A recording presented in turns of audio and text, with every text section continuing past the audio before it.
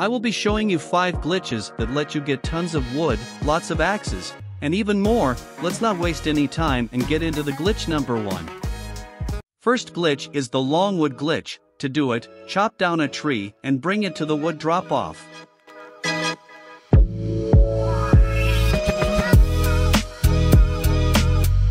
Here sell a few logs, and bring the last smallest branch to your sawmill.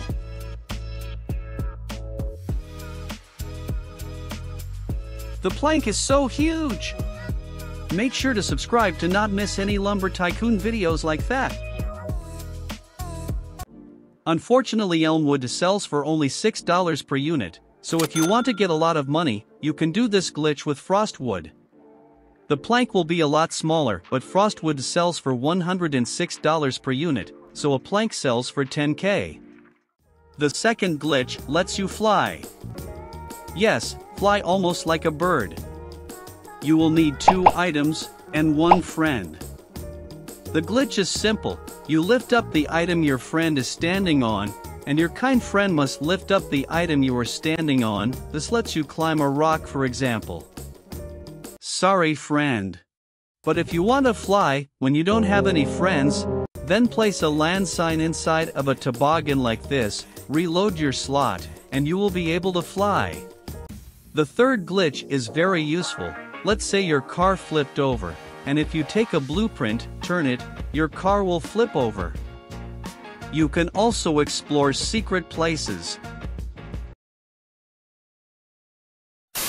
You can also explore secret places, like the marble statue place, and some kind of maze under fancy furnishings. It also works with items. The glitch number 4 is just crazy useful. You no longer have to care about the way you drive. Sometimes when you drive too fast, your wood falls out. But this glitched car gives you the perfect solution. To get it, you need one truck spawner, one trailer spawner, two wires, and one lever.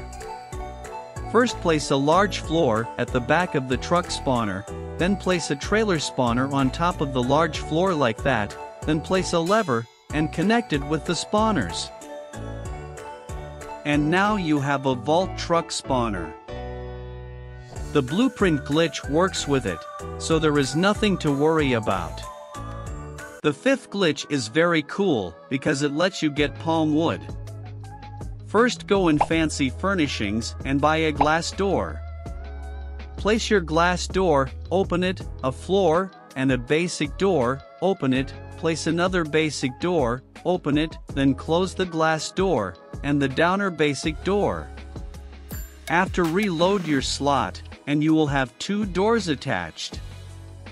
If you do this with 500 doors instead of two, you can reach the Palmwood Island. You can also make a door bridge to gold and zombie wood, and even to snowglow wood.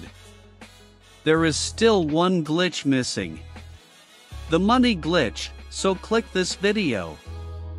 Also thanks for your awesome fan art on my Discord server, you can join it by clicking the link in the description.